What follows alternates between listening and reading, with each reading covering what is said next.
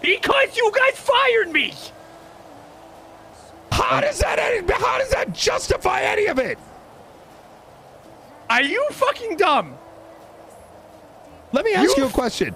If you got fired from a job, would Let it me be ask you. No, no, no. Well, no. okay, Let just me let's ask you put this in perspective. You Hey, charged me I with used something to that I work did for not the do. police department. I got fired, so I joined Al Qaeda.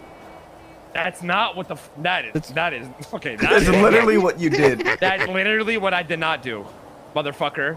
You guys Okay, charged. what's the you guys threw difference? me. you guys stripped me for everything, and then threw me, and then and then threw me into the fucking pit. Are you fucking? Are you dumb? I'm And you still still- trying to you- figure you- it out. I'm still so hold on. Oh yeah, yeah, yeah. so yeah. if you Right, got right. if if you got fired, and then you went in a hole for an hour, and you're like, you know what? Al Qaeda sounds about right right now. sounds about nice right now. that's not what I said. That's, not what what- happened. That's literally what happened.